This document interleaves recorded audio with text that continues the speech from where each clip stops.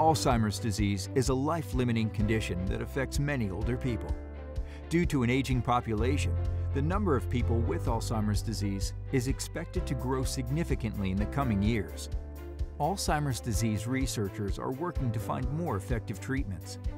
The START study, or Synaptic Therapy Alzheimer's Research Trial, is a new study of a promising treatment approach.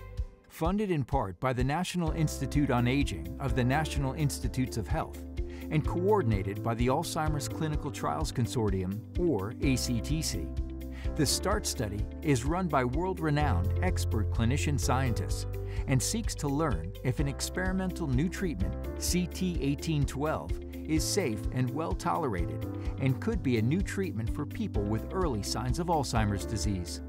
The START study seeks participants that are age 50 to 85, have a diagnosis of either mild cognitive impairment or mild Alzheimer's disease dementia, are willing to commit to around 24 visits over about a 20-month period of participation in the study, and are willing and able to take daily oral capsules. Each participant must also have a spouse, family member, or close friend who can participate with them, a study partner.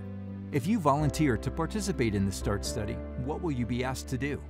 The START study will require visits during a period around 20 months and routine phone check-ins. The first few visits determine whether a person is eligible for the study.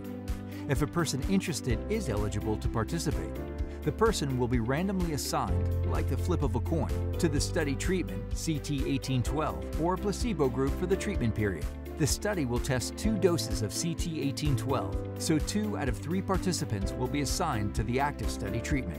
During the treatment period, the participant will receive the investigational treatment, or placebo, in the form of a capsule and attend in-person visits as scheduled, where clinician investigators will monitor the health of the participant, answer their questions, and assess their cognitive and functional performance. If you or someone you know would like to learn more about the START study, for more information, or to find the nearest study location, visit startstudy.org or call 1 833 START 33.